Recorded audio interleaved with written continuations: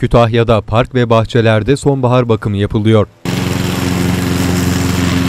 Kütahya Belediyesi Park ve Bahçeler Müdürlüğü'ne bağlı ekipler şehir genelinde temizlik çalışmalarına devam ediyor. Vatandaşın daha sağlıklı bir kentte yaşaması parolasıyla sürdürülen çalışmalarda yeşil alanlar daha estetik bir görünüme kavuşuyor.